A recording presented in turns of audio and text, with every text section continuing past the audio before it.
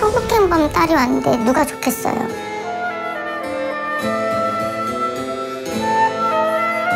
가슴이 찢어지죠. 이런 불쌍한 애를 음. 우리 아빠가. 근데 이상한 거예요. 피해자 얼굴도 모르는 거예요. 무슨 소리야? 성폭행인데 왜 피해자 얼굴을 몰라?